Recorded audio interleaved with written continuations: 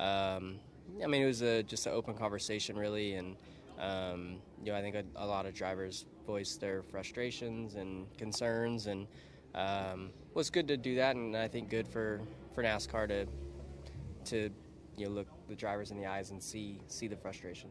I mean that they're they're obviously working on things, and but they are in a box with you know this car being quite a bit different than than the previous car, but you know they're working towards trying to make things a little bit better on us. I, I you know it's still you know what they've learned is not as good as the previous car still, but it's at least an improvement. So that side of things is is good.